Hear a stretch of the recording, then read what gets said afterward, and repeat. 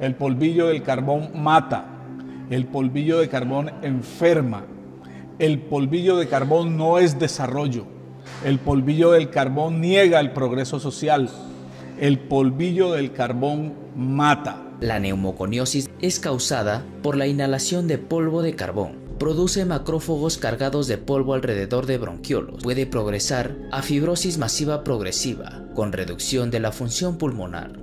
Ciudadanos y ciudadanas de San Salvador, de la urbanización San Marino, de las Tres Ave Marías, Floresta y Paraíso, hablándome de que aún continúan con un problema que se les había alejado por un tiempo y que fue retomado. Estoy hablando del polvillo del carbón en un puerto que está en el corazón de Siape, afectando a miles de seres humanos. Ahí vemos que todavía sigue la operación.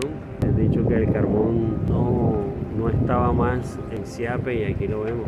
Cómo ha caído el carbón en el primer sereno de que sí está cayendo carbón. Y la empresa ha vuelto a abrir cómo cae el agua llena de carbón. Creí que eso lo habían parado. Y otra vez estoy viendo esta situación tan precaria para los pulmones y la salud de toda la gente de la comunidad.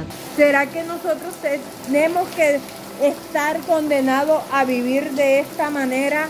Escuché testimonios dramáticos. Una familia que tiene un niño al que le hicieron cambio de hígado. Entonces los expertos le sugirieron mudarse de Siape lo mismo varios ancianos. Quiero recordar, hace varios años esa comunidad enfrentó en la calle con la mesa no al carbón, con lideresas como Teresa Bolaños, como Luis Guerra, como Maribel, como otros, enfrentaron este tema y lograron a través de la movilización social y a través de fallos judiciales que se le dieran órdenes al entonces DAMAP, hoy Barranquilla Verde, y a la alcaldía de Barranquilla como tal, para que tomase las medidas en procura de que ya no siguiesen siendo afectados por el polvillo del carbón. Hay varios casos documentados en el marco de esas acciones jurídicas. En el proyecto de ley del Plan Nacional de Desarrollo del Cambio se habla al respecto y se dice que esta fuente energética tiene que ser reemplazada. La minería no puede matar el ser humano.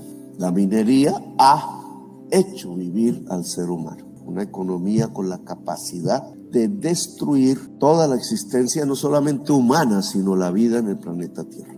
Se dice, al menos en Europa, que a 2025 sería eliminada por las graves implicaciones que tiene para la vida. Es muy grave que haya retornado el polvillo del carbón al seno de esas familias. ¿Por qué no pensar en poder programar una actividad del Consejo, de la plenaria del Consejo y visitar esa zona y escuchar a la comunidad y también padecer como lo padecen ellos. Mire, yo estuve hora y media, dos horas escuchándoles y hablando y salí afectado con mi voz porque es molestoso ese pueblo. Póngase a pensar esa vida, esa cotidianidad de esas familias que todos los días ven que su ropa se va oscureciendo, que las cortinas, que las sábanas, que los pisos, que las mismas mascotas, que el agua se vuelve turbia, se vuelve oscura por el polvillo del carbón. Eso me parece muy grave y por eso estoy llamando la atención de las autoridades distritales, especialmente de Barranquilla Verde y de la Secretaría de Salud, para que intervengan en esta grave problemática.